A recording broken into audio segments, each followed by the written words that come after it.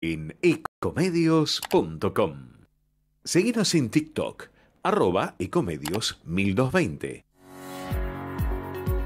Bienvenidos a Amigos del Sibori, un espacio para dar a conocer y promover el arte argentino.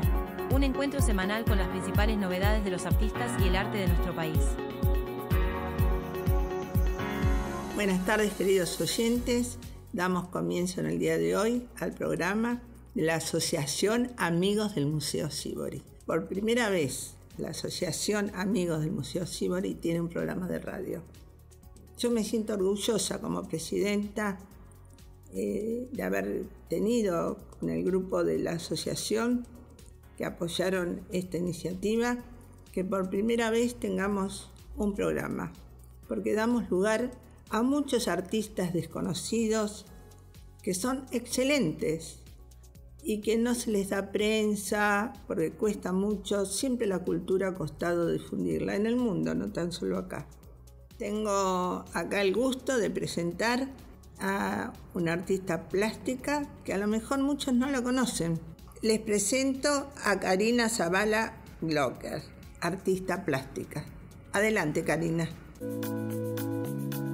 Nuestros artistas, un espacio para difundir el trabajo y las producciones de artistas argentinos. Bueno, estamos acá con otra artista en este espacio de entrevista a artistas plásticos argentinos, sí, con Karina Zavala Glocker, que nos va a contar un poco, bueno, acerca de su trayectoria, sus inicios, qué está haciendo ahora, qué proyectos. Así que, hola Karina, ¿cómo estás? Hola Facu, ¿qué tal? ¿Cómo andás? Bueno, gracias por el espacio primero, ante todo, ¿sí? Bueno, eh, la idea, como dije al principio, es eh, ayudar a difundir el trabajo de artistas. Sé que es difícil, que es algo bien remado eso, así que sí, la, verdad que de, amigos de Museo Sibori estamos tratando de dar estos espacios. Me encanta. ¿Quién es Karina Zavala Clocker? Contanos. Bueno, te cuento un poco. Eh, yo soy de la vieja escuela, ¿no? Estudié en la Escuela Nacional de Bellas Artes Pedro Porredón. Hice los cinco años de la carrera, me recibí de profesora nacional de pintura. Eh, bueno, cuando terminé sucedió que había, se estaba con un poquito desarmando la Porredón, así que se creó el IUNA. Continué al año siguiente, creo sí, el año siguiente, si no me equivoco, hice la licenciatura en artes visuales. Al mismo tiempo, mientras eh, cursaba la Porredón, estudié en eh, escenografía y vestuario en el Instituto de Teatro Colón, así que soy escenógrafa y vestuarista también. eso es un poco el, el resumen de la carrera académica, ¿no? Después viene otra parte de formación que fue muy, muy importante para mí, que eh, a partir de, ser escenógrafa y vestuarista, empecé a trabajar en teatro y en cine. Ah, mira qué bueno. sí, sobre todo en cine estuve trabajando durante 13 años, así que esa fue una formación muy, muy impactante, ¿no? Para mi práctica artística y, práctica también, ¿no? Con, con, otros tiempos, otras demandas, ¿no? Otras espacialidades. Tal cual, otras atmósferas, otros colores, ¿no? Eh, mi lenguaje, mi lenguaje eh, eh, el principal de mi práctica era la pintura, ¿no? Pero bueno, yo estaba buscando indagar en otros campos, otras espacialidades, a ver qué pasaba con, con lo que sucedía en ese momento en el arte, ¿no? En el 2000 y pico.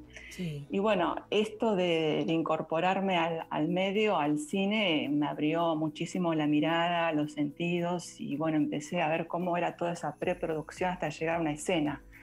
Y eso me encantó. Me, gusta mucho el, trabajo que se hace previo a la obra. Sí, sí, ¿no? una cuestión de prepensarlo ¿no? Mm. todas las cuestiones técnicas y también eh, conceptuales y, estéticas, ¿no? No, sí, tal cual, todo ese trabajo, toda esa búsqueda que se hace de historia, de referentes, ¿no? Que un poco yo lo, tenía también en la pintura, ¿no? Pero acá eh, era mucho más práctico, ¿no? Pude aplicar los dos conceptos que tenía de la escuela, todo lo que había aprendido de, historia del arte, de historia de, de, la cultura, de filosofía, pero aplicado al cine, ¿no? De otro lugar. Sí, como es, una lógica de oficio también, ¿no? Pues es un tal artístico involucrado, pero es un oficio. pero es un oficio, exactamente. y yo trabajé todos los saberes. Claro, tal cual. Y yo trabajé mucho en vestuario en el cine, ¿no? Hablando de oficios, no me viene solamente. Eh, entonces, bueno, eh, eh, ahí fue como que empecé a buscar estructuras, materialidades, texturas, tramas, ¿no? Y todo eso influenció lo que mi trabajo posterior después que se desarrolló en instalaciones, está desarrollando en instalaciones, en papeles, en la búsqueda de diferentes materialidades y temperaturas, ¿no? Eso principalmente, ¿no? Pero también continué mi, formación con otros, con clínicas, con residencias artísticas, con becas, eh, una beca del Fondo Nacional de las Artes que puede desarrollar en Zona Imaginaria, en San Fernando, en Villa Jardín que ese es un trabajo que está abierto todavía, ¿no? Eh, que lo sigo trabajando porque tiene muchas capas, ¿no? Con muchas personas. Me gusta el trabajo interdisciplinario. Ah, eso está buenísimo, enriquece mucho ese tipo de proyectos. Enriquece mucho, sí. Hoy en día el trabajo entre otros campos es imprescindible, ¿viste? Porque eh, creo que, nutre tu propia obra y también nutre también todo el conjunto ¿no? con el que uno está trabajando. Imagino que esa es una práctica que también empezaste a implementar cuando empezaste a trabajar en el cine, que tiene esta cuestión de, de fotografía, el director, el iluminador. Bueno, Tal cual. Sí, sí, el... un poco del fruto del intercambio, ¿no? Claro, yo ahí me di cuenta del trabajo colectivo, ¿no? Y eso es lo que quería llevar, eso es realmente lo que yo quería hacer, ahí me di cuenta. Yo quiero eso en el arte, el trabajo colectivo, ¿no? Que ya tenía su semilla, ya estaba como germinando ya en el, en el 2000, estaba muy potente toda esa idea. Bueno, y ahora está, es, está estallando prácticamente, ¿no es cierto?, el trabajo colectivo, ¿no? No hay otra forma a veces de, de llevar a cabo un trabajo que no sea en forma grupal o con diferentes campos de acción, ¿no? Sí, Así que bueno, creo que porque se, también es porque se fue complejizando un poco todo. Entonces las miradas necesitan ser un poco más complejas y no alcanza con una sola mirada ni, una ni un solo arte por ahí. Tal cual, sí, uno necesita a veces para completar eh, la mirada de un escritor o de un filósofo o, tal vez también de un compañero de, de, trabajo con mucha experiencia que te sepa mirar lo que estás escribiendo, lo que estás haciendo, ¿no? Eso es fundamental también. Es como que, bueno, las, historias por ahí son más complejas y los, y los públicos son más complejos, ¿no? Esta cuestión de, por ahí saliendo de la pintura, vemos que las series son morales, son varias historias que se entrelazan. Tal cual, son tiempos. Exactamente. son, tiempos que van y vienen, ¿viste? Eso, eso, por ejemplo, cuando uno está leyendo un guion también, la película no se filma tal cual una línea temporal específica vas y venís. Y eso también me fue como que me influenció en esto de después saber cómo hago eso, yo cómo lo llevo yo a mi práctica, ¿no? Y de haber sido un súper aprendizaje, ¿no? roto. Siempre que uno se mete en un espacio de trabajo diferente es romper y, rearmar. Sí, sí, sí, sí, fue una, una, sí, una deconstrucción de todo lo que yo venía haciendo, ¿no? Eh, por eso te cuento, yo empecé a trabajar después de, bueno, dejé un poco la pintura de lado y dije, bueno, eh, la pintura ya en este momento no, no es el lenguaje con el que yo eh, me quiero apropiar de lo que yo quiero decir, ¿no? Empecé a reflexionar y bueno, vi un montón de materiales alrededor mío en ese campo del cine, ¿no? Y el primero que tomé, que me gustó, no sé, por afinidad, por, por lo que quieras, como lo quieras llamar, fue el papel de molde. Que por un lado el papel de molde, bueno, pero el papel de molde dentro del cine, bueno, sí, pero el papel de molde sirve, sirve como construcción para armar un vestuario completo. Eso es lo que tiene. Vos trazás líneas, trazás patrones, trazás una línea de tiempo también con eso. Además, eh, yo tenía, había acumulado, a mí me gustan mucho las ferias americanas, me gusta mucho andar por los anticuarios, por todas esas zonas donde uno empieza a encontrar cosas, ¿no? y había encontrado muchos eh, patrones antiguos, muchos moldes antiguos. A mí me encanta todo lo que es la, la memorabilia de, otras épocas, ¿no? Y digo, ¿y qué pasa si deconstruyo esto y armo otra cosa y lo paso a otro plano y esto es, es la estructura que va a armar una obra, ¿no? Y esto es, viene un poco a lo que, te, lo que hablábamos anteriormente del detrás de obra, ¿no? De, de, cómo se va armando una obra para después salir a escena, ¿no? Y bueno, al final los papeles tomaron, eh, tomaron eh, el, escenario, son, son los que construyen mi obra actualmente, ¿no? Yo los intervengo con collage, eh, con formas que están inspiradas en la naturaleza, porque uno de los ejes que atraviesa mi práctica también es la naturaleza, sobre todo la naturaleza urbana, porque yo vivo en capital, Claro, eh, claro mi, de ciudad, como quien dice. Claro, tal cual. Mi hábitat es, acá, es la ciudad. Eh, voy mucho a, provincia, pero vivo acá y estoy atravesada por la urbanidad. Entonces la naturaleza es la plaza, es la reserva natural, son los árboles que veo cuando camino, es eso lo que la ciudad, exactamente. Claro, exactamente. Y bueno, después eh, algunos que otros viajes que uno se hace, ¿no es cierto?, de, vacaciones. Para ventilarse un poco y cambiar de oxígeno. Tal cual, ¿no? Y bueno, y así fui, y fui formando con esos papeles eh, paneles que a su vez eh, van construyendo instalaciones que se adaptan e intervienen en el espacio que les toca habitar. ¿no? Y lo interesante de todo esto es que yo armo espacios donde la gente puede circular por medio de esos papeles, ¿no? Es lo que a mí me interesa. A, mí, a mí me interesa que la obra se complete con la experiencia del espectador, ¿no? A través de lo que perciba. Puede ser percibir por la mirada el papel, preguntarse por qué ese papel, qué, qué tipo de papel, que es lo que más me preguntan, o si escuchan algún ruido, que viste el papel tiene un cierto ruido. Sí, sí, sí, sí, dependiendo de Que lo produce, el, claro, que lo produce el viento o, alguna, o algo que, está pasando por allí. ¿no? Y eso es lo interesante, que la gente se asombra. Eso a mí, la verdad, que, que me encanta de mi obra, ¿no? Está buenísimo ese tipo de instalaciones donde uno, digamos, tiene una interacción más allá de la pasividad de mirarla y tratar de encontrar Tal cual. y desarmar ese rompecabezas que plantean los artistas. Está bueno porque aparte te, permite como miradas, ¿no? Digamos, varias miradas, pues si vos lo transitas, lo mirás de afuera, lo mirás de adentro, lo mirás de cerca, lo mirás de lejos. Tal cual, sí. Cosas. Sí, que se lleven la experiencia de pasar por algo que, no sé, que, uno construyó y que, y que viene de otro lado y que, bueno, que se lleven esa experiencia sobre todo. Sí, te involucras un poco más también, digamos, ¿no? Porque. No, tal cual. Mirándolo de lejos, por ahí no escuchás esas sonoridades que vos decís, bueno, el viento o eso que comentabas recién, así que Claro, pero yo a veces los invito, como estoy ahí, generalmente los invito a tocar y la gente es como aprensiva, porque ¿quién se imagina que vos los invitas a, tocar una obra? A nadie. O como lo anti obra de arte, que siempre a lo anti, no toquen. no toquen. Bueno, acá es sí, podés tocar, no hay ningún problema. Hay mucha gente que me dice, ah, porque esto lo usaba mi abuela. Entonces hay también como un recuerdo del de chicos, ¿no? Memoria sensorial. Memorias sensoriales, hay un feedback, eso es lo que también es, muy interesante. que es el tema de, bueno, yo lo asocio mucho a los libros, el, aroma, digamos, ¿no? El, aroma también. el libro viejo tiene otro. Bueno, yo lo primero que hago cuando abro un libro es abrirlo y, percibir el, aroma que tiene ese libro, sobre todo el de, claro, el de biblioteca, ¿viste? Las bibliotecas, bueno, son otro lugar. Esa interacción, sí, total. Y los libros, los libros viejos también tienen como esa cosa, ¿no? De, entre Tal cual. y las hojas desgastadas. Sí, Sí, sí, esa, cosa amarillenta, ¿no? Que como va añejándose, ¿no? Es una, también una experiencia multisensorial esto de recorrer. Multisensorial, sí. Y el papel con la luz, las sombras, qué sé yo. La luz, la sombra, bueno, las temporalidades y las temperaturas y cómo va construyendo un lenguaje propio también, ¿no? Esa instalación, esos papeles.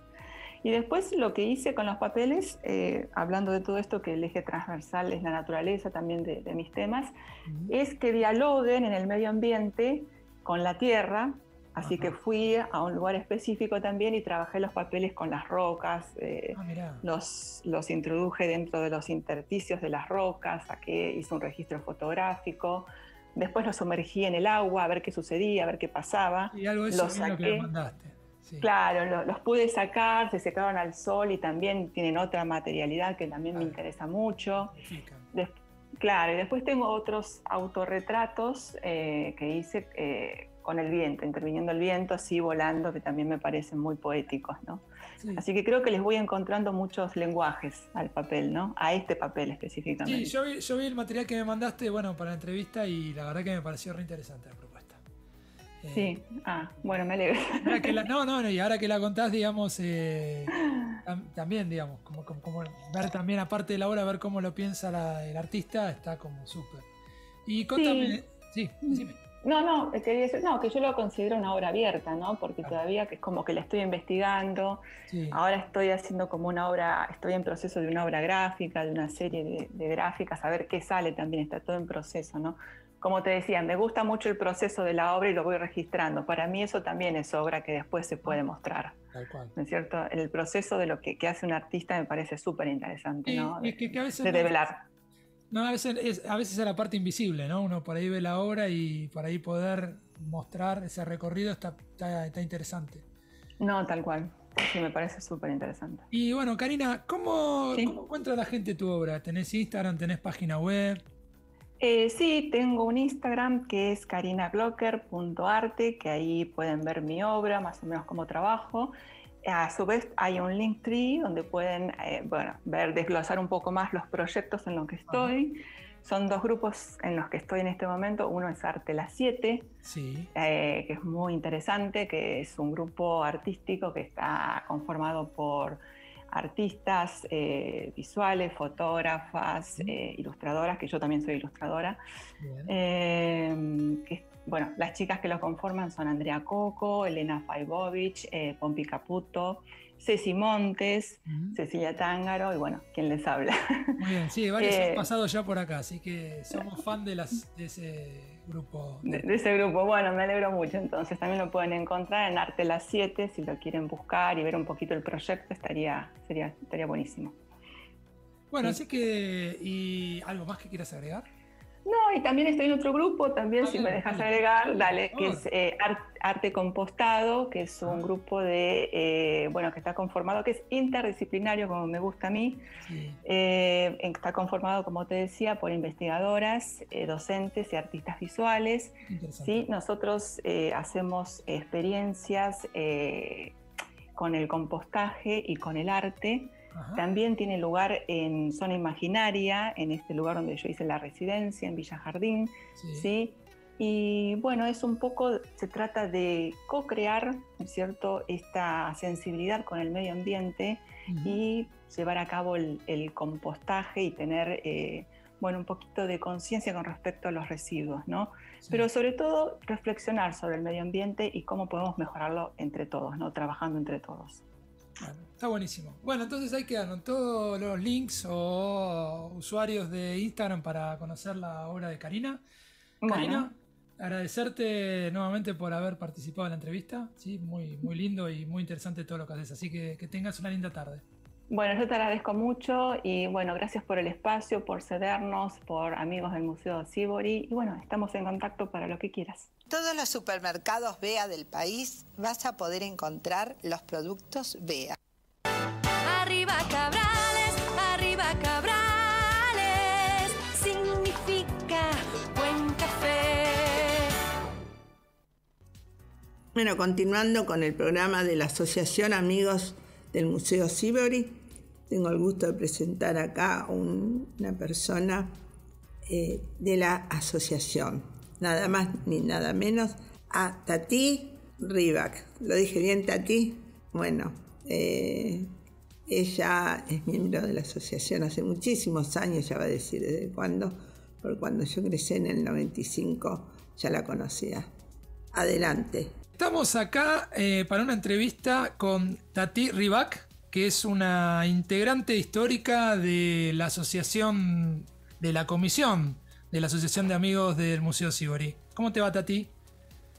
Bien, bien, un gusto de escucharte y de estar en, contacto con ustedes. Te convocamos más que nada, bueno, pues estamos en temporada de remate por remate, que siempre es un evento interesante o importante para la asociación. Y entonces estamos invitando a distintos integrantes de la comisión para que cuenten un poco sus experiencias.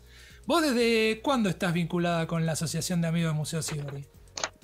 Mira, yo me vinculé a la Asociación de Amigos este, cuando realicé mi, eh, mi muestra individual, que fue una retrospectiva convocada por Cocola Rañaga en ese momento. Bueno, eh, vinieron muchas personas, muchos visitantes a esa muestra, y entre ellos estaba Enrique Jameson, un galerista muy conocido que estaba en la asociación, insistió mucho en que yo integrara la asociación. Eh, bueno, estuve varios años sin figurar, digamos, en los catálogos ni nada, y finalmente me entré a, a formar parte, digamos, más eh, más formalmente de la asociación.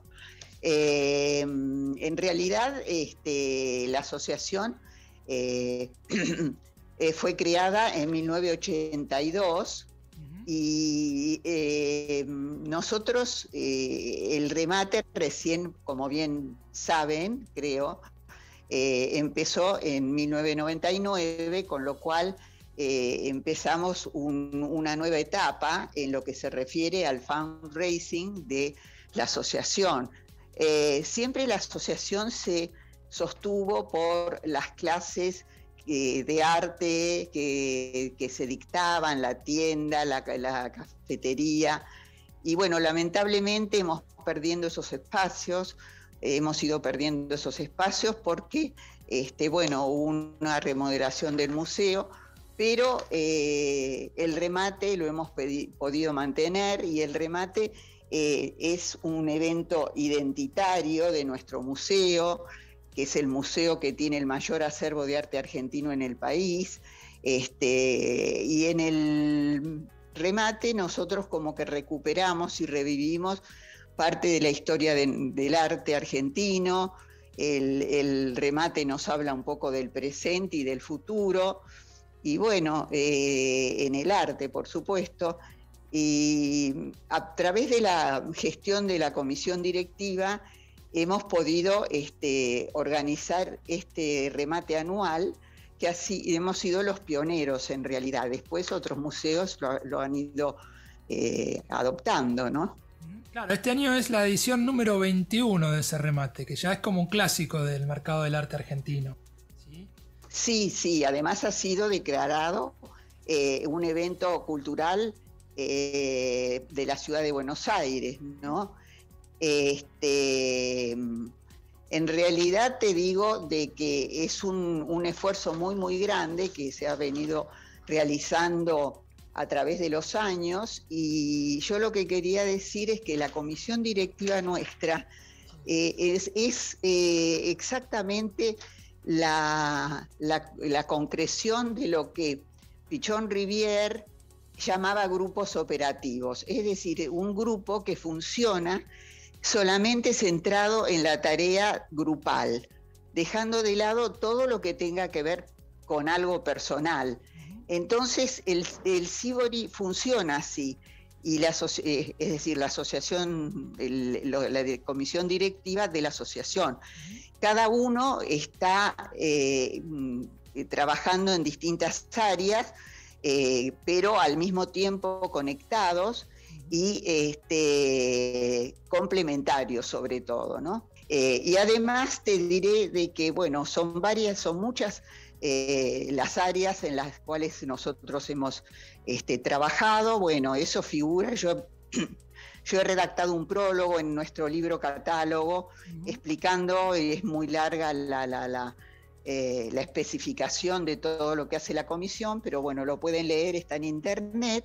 Y este, en realidad, eh, para realizar el remate, dentro de todo el trabajo de la comisión, se arma generalmente una subcomisión que trabaja con la curaduría, este, y eso hace posible que se vayan afianzando las distintas este, pautas que nosotros en realidad tratamos de defender, ¿no? que es este, conectar el arte histórico del pasado con el presente y, preparar quizás al espectador para el arte del futuro. ¿no? Y bueno, siguiendo un poco esa línea de pensamiento que vos planteás, es importante decirle a la gente que hace tres años, cuando, ya casi tres años cuando se declaró la pandemia, la asociación tomó el desafío de migrar hacia lo virtual y hace tres años que el remate se hace de manera virtual, ¿no? Eh, sí, bueno, eh, justamente, mira, yo eh, considero que esto es un viaje virtual, es un viaje virtual por nuestro arte, ¿no? Que, que además ha recuperado el espacio que siempre tenía el museo, porque efectivamente todo durante la pandemia no se pudieron realizar demasiadas actividades, eh, prácticamente estuvo mucho tiempo cerrado y, bueno, esto es algo que, eh, habernos eh, animado a, salir en momentos como estos y que incluso ahora con un remate virtual creo que es una osadía aparte del, gran trabajo que lleva, ¿no? Sí, sí, digamos que... Felizmente Felizmente, digamos, ha sido muy exitoso el remate y, eso nos da ánimo para seguir, este, porque como bien sabe el público, generalmente lo saben, eh, nosotros tuvimos que interrumpir el remate porque ediliciamente hubo un trabajo de arquitectura y eso impedía este, realizarlos en el museo. Este, ahora el hecho de esta vertiente virtual nos permite hacerlo en cualquier momento, ¿no? Sí, sí, y aparte, bueno, con una plataforma que es propiedad de la asociación, eso también es, digamos, como que sigue siendo pionera la asociación en ese tipo de cosas. ¿no? Así que... Mira, eh, tener, tener una plataforma como esta realmente es un lujo, es un lujo porque eh, no, no, no es fácil en estos momentos eh, ocuparse, digamos, llevar, eh, dedicar tanto, tanto tiempo y esfuerzo para realizar una plataforma, este, cuando todos nosotros tenemos otra actividad y este, todo el trabajo que realizamos en la asociación es absolutamente ad honorem. O sea que eh, todo el tiempo y esfuerzo es algo que nosotros elegimos con todo, con todo afecto, con todo cariño para el museo, pero es un esfuerzo importante. Bueno, Tati, eh, clarísimo todo, muy amena la charla, así que sin más, agradecerte por haber participado del espacio, eh, espero que lo hayas pasado bien. Le he pasado muy bien y te agradezco muchísimo. eh, a vos también como integrante de la asociación. No puedo nombrar a todos, pero están incluidos en un gran abrazo eh, a todos mis amigos de la vida de la comisión y también a los oyentes que nos dedican su tiempo para estar con nosotros. En Coto trabajamos cada día para brindarte variedad, calidad y las mejores ofertas. Coto es una gran familia argentina que crece pensando en su país. Coto, yo te conozco. En tiempos en donde las redes están repletas de gente a la que le sale bien todo, que canta, que baila, que cocina, nosotros también queremos bancar a los que no. A los que se mandan a hacer algo y les sale horrible. Porque aunque pueda fallar, lo importante es seguir intentándolo. Y nosotros estamos ahí para darte todo lo necesario para que lo sigas haciendo. O una alternativa que te salve. Porque si falla, tenés un disco cerca. Disco. ¿Qué necesitas? Bueno, ya llegando al final del programa, eh, antes que nada quiero agradecerle a todos los que nos han apoyado en este remate y en el post-remate. Eh, tuvimos un, un éxito importante y estamos muy muy contentos, la Asociación de Amigos. Y lo que les pido es todo aquel que nos escucha, que quiere participar, que quiere ayudarnos, que nos ayude a mantener este espacio, esto le pido a las empresas, este, y a los artistas que se acerquen a nosotros, porque hay algunos a lo mejor que nosotros no conocemos, son importantes, de cualquier lugar del país. Hasta la próxima semana y que Dios los bendiga.